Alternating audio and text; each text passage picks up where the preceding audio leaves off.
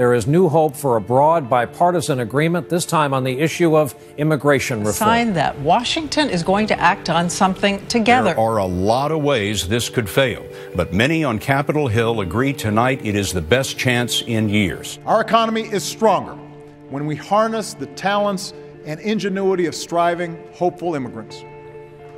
And right now, leaders from the business, labor, law enforcement, faith communities, they all agree that the time has come to pass comprehensive immigration reform. Now's the time to do it. The issue of immigration is not a simple one, but I think we have the opportunity to do it right. And if we do, I think we'll do a tremendous service to our country. We are here to announce that eight senators from opposite sides of the political aisle are coming together on a common sense immigration reform proposal. It is not going to be helpful for American workers when these 11 million are legalized. What's the most important thing you'll get done this year? Uh, I think uh, immigration reform is probably at the top of that list. Signed into law? Uh, I think by the end of the year we could have a bill. One that passes the House, passes the Senate, signed by the President? Yeah, no question. Do you support your own bill?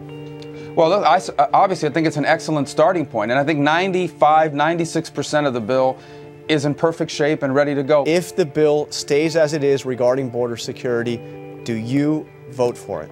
Listen, I'm, i really don't want to get involved in these hypotheticals and ultimatums well, about what I want. That's a very real possibility, Senator. Well, no, it's. I don't think it is. If Speaker Boehner moves forward uh, and and permits uh, this to come to a vote, even though uh, the majority of Republicans in the House, and that's if they do, uh, oppose whatever it is that's coming to a vote. Uh, he should be removed as, as Speaker. We're going to legalize everyone here illegally right now. And then in the future, wink, wink, nod, nod, we promise we'll secure the border. Generations of unfulfilled dreams will finally come to pass. And that's why I support this reform. The House is not going to take up and vote on whatever the Senate passes. The yeas on this bill are 68, the nays are 32. The bill as amended is passed. You know, I've seen a lot of intellectually weak cases uh, in this town. I rarely seen as intellectually weak case as the case against the Senate immigration bill. I'm counting on the House. I'm counting on the House getting it even better. I'm counting on the House uh, realizing that we can't just continue on with this de facto amnesty. For everyone who's a valedictorian, there's another 100 out there that um, they weigh 130 pounds and they've got calves the size of cantaloupes because they're hauling 75 pounds of marijuana across the desert. The only thing that's holding it back right now is John Boehner calling it to the floor. The president has undermined this effort. Absolutely. The president has undermined the efforts. We need some indication from the White House and from the majority in the Senate that they'll actually work with us. That's that's that's exactly what we're talking about. You have a power to stop deportation for all. Actually, I don't. And that's why we're here. They are here because our government is tearing apart their families. This problem's been around for at least the last 15 years. It's been turned into a political football. I think it's unfair. Uh, so I think uh, it's time to deal with it. For us, this president has been the deporter in chief. Any day now, any day now, this administration will reach the 2 million mark for deportations. Yes, they broke the law, but it's not a felony. It's kind of the it's it's a it's a it's a it's an act of love. I think comments like Jeb Bush's and other Republicans, what they're doing is they're pandering to a certain group of people. I think race has something to do with the fact that they're not bringing up an immigration bill.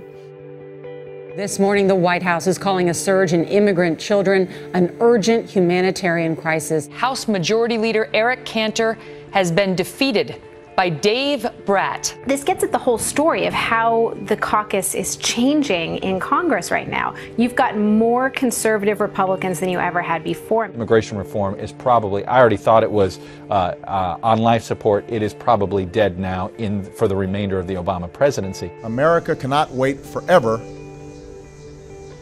for them to act.